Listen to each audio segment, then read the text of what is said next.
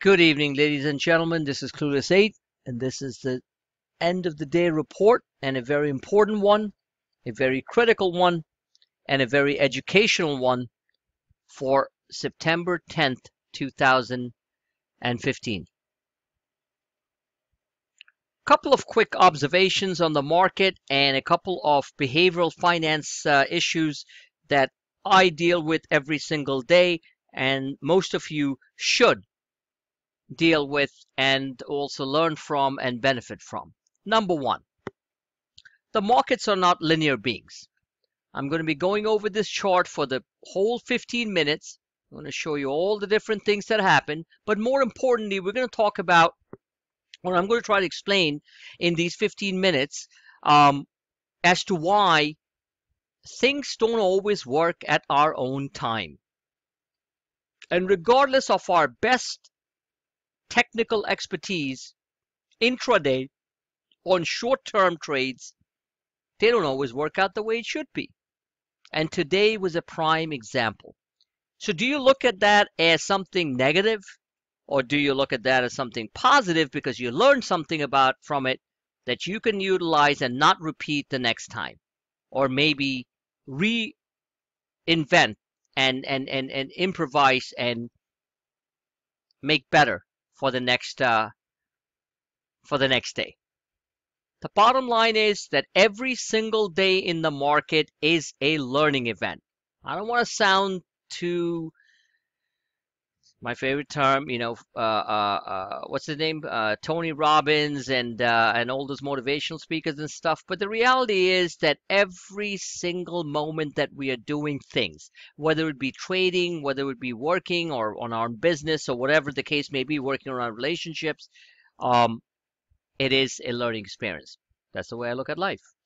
So let's take a look at what happened today. We opened the day. We had terrible stuff coming out overseas. Uh, Europe was down, you know, was down. Nothing severe, but it was down. We had uh, moderate to crappy numbers out of China on the on their CPI data.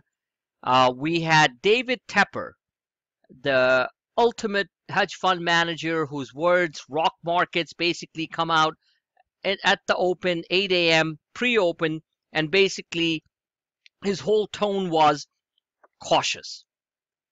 Not something like he normally is, which is a charging bull at the right times. And I do respect his work, mind you. He's not a Fed hater. He's not a dogmatic bear, but he's a bull. And he's saying be cautious. So starts off the day like that. We had a Brazil downgrade last night. We had futures which basically um, you know, uh, went uh, uh, uh, went crazy yesterday. We were we we literally you know collapsed by the end of the day, and everything looked like it was going to be a negative opening. So what happened? So here is what happened in simple terms. Forget all the technical mumbo jumbo and all the things that I'm going to talk about in the next few minutes. What really happened was professional traders right there in Chicago, around the world, in the US, including me, intraday I'm talking about. I'm not a dogmatic bear. You guys all know that. I'm a tactical bear. We all got shoved into one little room. We all got a little too bearish on what we saw out there. Okay? So one little room, everyone squeezed in. In other words, the, the pendulum swung too far to the right on the bearish short side. Well, guess what? The machines did. And this is what I try to teach every single day. This is what I try to do every single uh, uh, weekend when I do the group advanced coaching sessions. Explain to people out there, humans, people like yourself, that you know what? It doesn't matter what we think. It's the bottom line internals, it's all the different factors which algos and HFTs drive on, which is go against what the prevalent feeling is. So the prevalent feeling for today, I'm not saying that I'm not going to be right tomorrow. On my basis that we're going to go to about 190 on that uh, on the spies, okay, or 1900 in S&P. I'm talking today. Everyone got too crowded and got too caught up with their emotions to got too bearish. And guess what? The algorithmic high frequency trading programs jammed them hard. You hear that? Jammed them hard. And that's it. So you're down a little bit, you're going up a little bit, you're coming down, and bang, they take the market up 160 points. We hit certain technical levels. I show that directly through my Periscope broadcast, through my SPY tech, uh, tactical charts. On the shorter term time frame, obviously you can see that here because there's a running tail here, but that's where we hit the highs, okay? And bang, we come down. Everyone thinks, oh my God, it's all over. We're down like 15, whatever. I cover my shorts. Net net on the intraday stuff, I still had a minor loss. The keyword is minor. I didn't have a major loss because at the time we were up 160, I added more puts. You guys saw that on the Twitter real time feed, right? Got to follow it. So I came out with a minor loss and I'm not happy about it. But doesn't matter. There's a bunch of dogmatic shorts who got creamed today. And right when it was 15, one of our great members, one of our newer players, I talked to him after the market, you know. He's like, I get worried when Clue covers his shorts. Laughing out loud. Great stuff, man. Right after that, the market turns around, goes up 76 points. So what I'm trying to get at is I'm not going to show every single level because your job is to spend about 15 minutes at the end of the day. 15 minutes, that's all it's going to take, which is going to make your trading wallet fatter go through every single one of my posts and specifically my charts and the recent Periscope uh, broadcast, which I take time to do it because I want people to see in real time what's going on. Invaluable stuff. So the bottom line is that when you see all that, you'll see exactly where the upper gap was was touched and reversal candles happen. Because I'm watching three different platform and 60 different indicators. And I'm trying to broadcast what I think is going to benefit my members and free trial subscribers. If that's not value added service, I have no idea what it is. And it's all visual. It's not just a word that's going out there. Buy, sell, buy, sell. So anyway, so from a behavioral standpoint, that's what happened in simple terms. Pro traders, I just shot out a Twitter feed right now from CNBC, which I thought was relevant, where it says, where I put my own words in there, algos fool technical traders, as charted. Expect pre-walk, uh, uh, uh, pre-weekend caution after head fake rally. Head fake rally. Maybe it's a head fake rally. I don't know. Because there's other stuff going on underneath on the global front which might say that it's not a head fake rally. So you will need me more than anything else to navigate these markets over the next couple of weeks, over the next couple of months, going into the end of the year and more.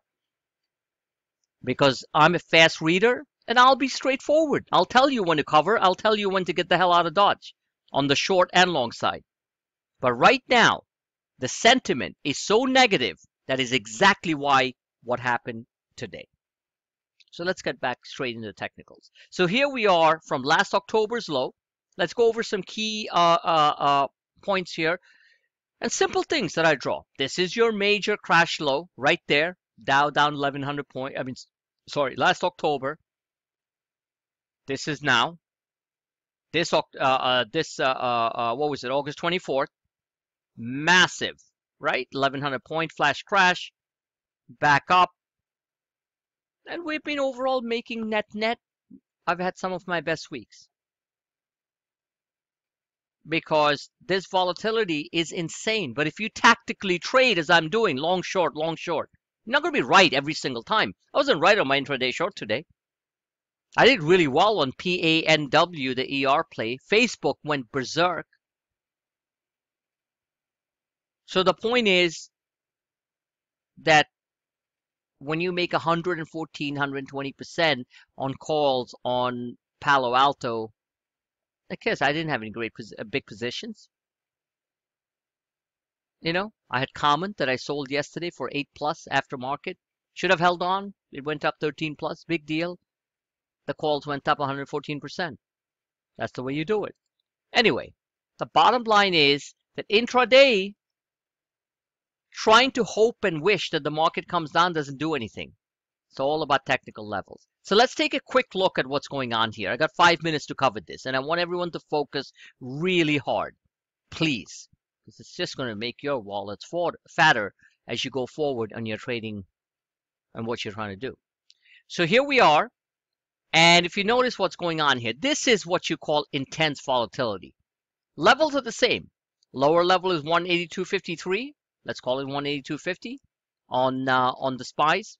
Look at the spies here, which is the general market. You have here, you have 190.43. On the upper end, you have 199.89. Call it 190, call it 200. That's the trading band that we're moving on, period. That's it. Nothing to it. So let's zoom in. So here was yesterday. Up a lot and then gave back a lot. We made money. We made money at selling the calls, S&P calls from the previous day up here, shorting midday, making some real decent money. 60, 70, 80%, some cases more on the short side. Today, this was it. So what does this tell you? This is almost an inside day, not completely. So it is true there's a seasonal factor involved. It's the 9/11 commemoration tomorrow. For God's sakes, I almost got blown away on that particular day. I passed through the World Trade Center at 8:35. 8, I'm sorry, 8:15 between 8:15 and 8:20 that morning. 8:35, the world went nuts and changed. Right? So I respect what goes on. I had friends there. I was lucky that I survived. So the bottom line is that it is a deep emotional event for the United States of America. And I don't believe that the markets are in a mood to cause more angst and anxiety by crashing on 9/11 or the day before. Maybe I'm wrong. Bottom line is this is what's going on, right? Now here are the internals, and this was the tell. The internals never gave a confirmation they wanted to crack. And if I change this color here and make it a little bit, uh, uh, let's say, right there, the internals clearly showed that there was a positive divergence going on regardless of these fluctuations that was going on during the day. And those internals are still telling me that the market wants to go a bit higher. What's a bit higher? Maybe engagement with the with uh, uh, the five day. Uh, this is the five day moving average. Maybe engagement with uh, the 34 here at 203 maybe to the 50 because the standard deviation away from the 50 and the 34 day moving averages which means how far they have moved away from the path as I like to explain in my coaching sessions, that if you're driving on a road and you veer away and, and get away from the lane, you want to get back in the lane. Well, this is the lane that the market wants to follow, the 50 and the 34 day moving averages. Well, guess what? We moved away a lot from there. Is it possible? But that's what normally happens. Reversion to the mean, which is get close to it? Absolutely. What is this orange line? Most importantly, I've shown this many, many times. This is the breakout line that happened on November 5th. Look at the date below, right there. Okay, November 5th, right there, November 5th of 2014. And trust me, that was one of the best uh, multi-month money, money maker ever. So the bottom line is, what I'm getting at is internals do matter. These, the vortex indicator is still not showing a breakdown. The green line is still moving up. On the macro global economic front, what I call macro global economic uh, game theory, there's a bunch of stuff going on which might be construed as positive. In fact, it is positive. The Chinese premier is on his knees telling the world that it's okay. They're going to do whatever it takes to keep the Chinese economy afloat. They're saying the Chinese economy is completely tied in with what's happening in the global economy, which is true. So if he's going to prop up his economy, why won't the rest of the world benefit? So guys, there's a lot of stuff going on aside from technicals. I am not a dogmatic bear. I'm a tactical bear.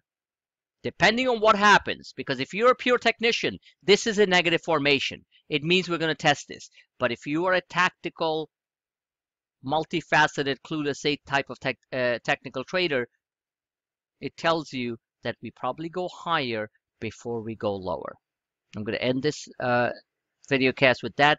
Everyone, please review every single chart and Periscope video broadcast. Thank you for listening.